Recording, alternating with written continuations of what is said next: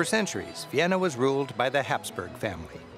They had two luxurious palaces in Vienna. The Schönbrunn Palace, with its expansive grounds standing at the edge of town, was their summer residence. Their main palace, the Hofburg, dominates the town center.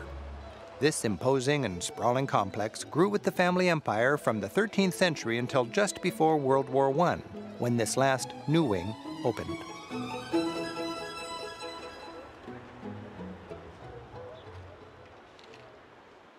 While the last Habsburg checked out in 1918, the palace is still plenty busy. It has the offices of the Austrian president, and it's home to hundreds of government workers, the Spanish Riding School, Vienna Boys Choir, and the palace itself welcomes the public. The lavish imperial apartments seem designed to give their royal residents grandeur fit for a god. After all, in the age of divine monarchs, kings and emperors like the Habsburgs claimed God himself ordained them to rule with unquestioned authority. The Habsburgs were one of a handful of royal families who ruled nearly all of Europe until World War I. The walls between the rooms are wide enough to hide servants' corridors. The big ornate stoves, which servants fed from behind, heated the rooms. The decor is splendid Baroque, the preferred style of divine monarchs as it served as a kind of propaganda to sell the old regime notion that some were born to rule and others were born to be ruled.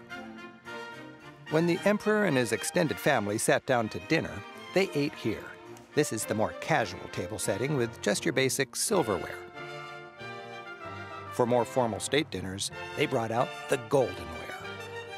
Each drink came with a proper glass, and spittoons always go on the left.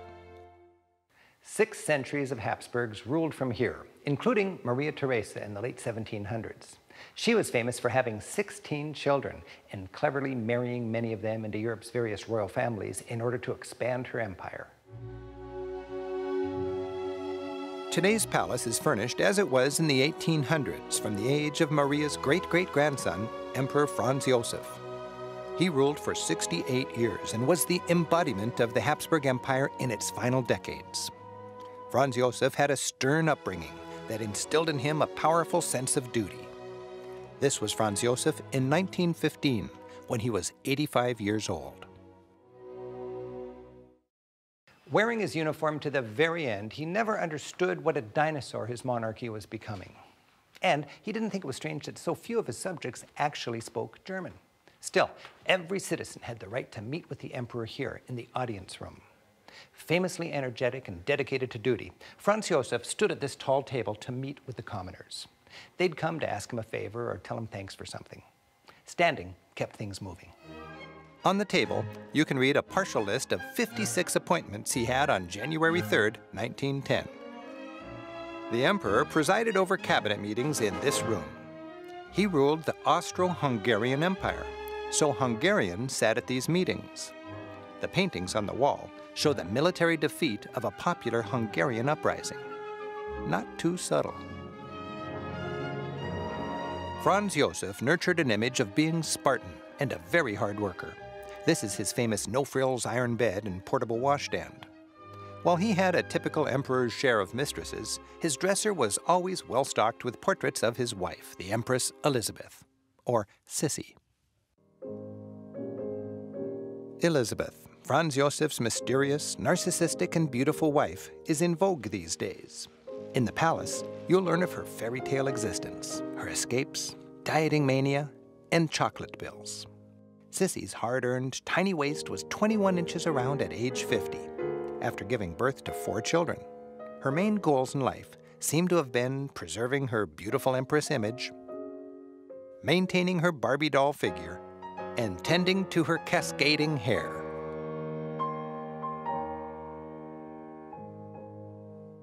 Here in her bedroom, servants worked two hours a day on Sissy's famous hair. She'd exercise on this. Her bathroom was equipped with a huge tub, the finest anywhere, which rested on the first linoleum floor in Vienna, installed in 1888. In spite of severe dieting and fanatic exercise, age took its toll. After turning 30, she allowed no more portraits and was seen in public only behind a gentle fan. In 1898, while visiting Geneva in Switzerland, Empress Elizabeth was assassinated by an Italian anarchist. Sissy's often been compared with Princess Diana because of her beauty, her bittersweet life, and her tragic death. When you visit Vienna, it's easy to get caught up in the growing legend of Empress Elizabeth. For maximum imperial Bavarian grandeur, tour the Residenz. This was the palace of the Wittelsbach family, who ruled Bavaria for more than 700 years. Like so many of Munich's architectural treasures, it was destroyed in World War II and rebuilt since. To meet the Duke, all official guests had to pass through this gallery lined with 700 years of Wittelsbach portraits. Always trying to substantiate the family claim to power, they included the great Charlemagne as an honorary family member. The paintings are scarred by knife marks. In the final months of World War II, when Allied bombs were imminent, Nazi leaders gave the hasty order to slice each portrait out of its frame and hide them away. The Wittelsbachs were always trying to keep up with the Habsburgs, their Austrian imperial rivals, and this long string of ceremonial rooms was basically all for show. The exuberant decor and furniture is from the 1700s, Rococo. And of course, the Wittelsbach family had their own porcelain made for the palace. With all the mirrors, it's porcelain forever.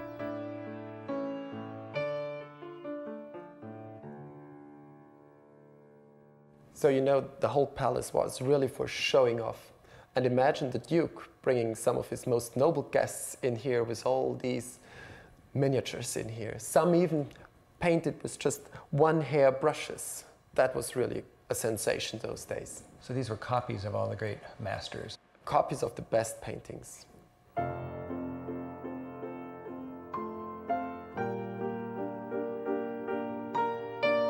The palace ballroom was decorated with ancient Roman statues. The Wittelsbachs, like other European royals, collected and displayed busts of emperors, strongly implying a connection between them and the Caesars the palace treasury shows off a thousand years of Wittelsbach knickknacks and Bavarian regalia, the inspiration for so many fairy tale crowns. Small mobile altars allowed kings to pack light and still have a focus for their worship while on the road. This crucifix, carved from ivory, is exquisite. This reliquary, made in 1640, shows St. George killing the dragon, it sparkles with over 2,000 precious stones. You can almost hear the dragon hissing. It was designed to contain the relics of St. George. The palace also came with a royal garden. Today, it's the realm of everyday people rather than kings, dukes, and counts. Würzburg was the capital of the German state of Franconia. In the 1700s, it was ruled by a prince bishop. He exercised both secular and religious authority, and this grand palace was his home. Opulent as a German Versailles, the prince bishop's residence is the main attraction of Würzburg. Imagine VIP guests arriving for lavish parties. Met here by the prince bishop, they'd glide gracefully up this elegant stairway, enjoying a grand fresco as it opens up overhead dating from about 1750 and by the Venetian master Tiepolo. It illustrates the greatness of Europe with Würzburg at its center. The hero is the esteemed Prince Bishop, honored by a host of Greek gods affirming his rule. Ringing the room are allegories of the four continents, each with a woman on an animal, and celebrating Würzburg as the center of the civilized world. America, desperately uncivilized, sits naked with feathers in her hair on an alligator among severed heads and a cannibal barbecue. Africa lounges on a camel in a land of trade and fantasy animals. Asia rides her elephant in the birthplace of Christianity marked by crosses.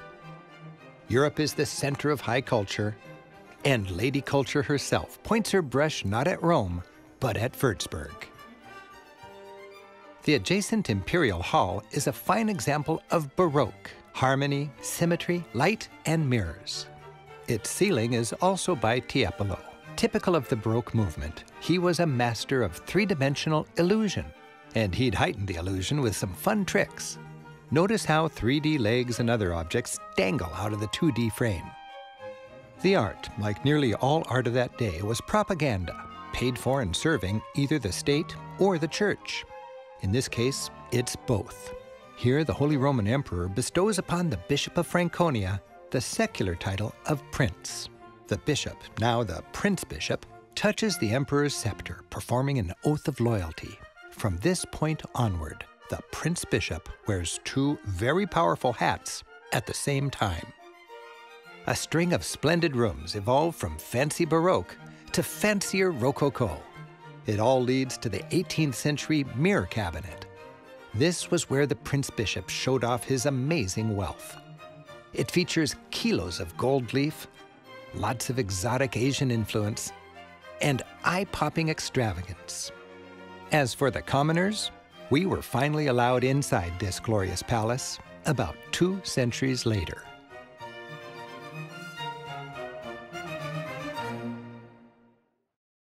Palaces of the Imperial Habsburg family still create a buzz. The royal family wintered downtown in their Hofburg Palace, and they summered here at the Schönbrunn Palace.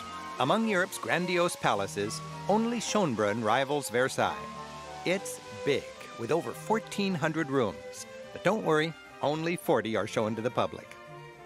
While the exterior is Baroque, the favored style of divine monarchs in the 17th century, much of the interior was finished under Maria Theresa in Rococo, the frillier let them eat cake style that followed.